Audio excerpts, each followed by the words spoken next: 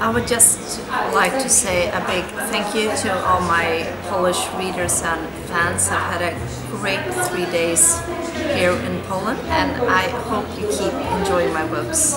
Thank you very much.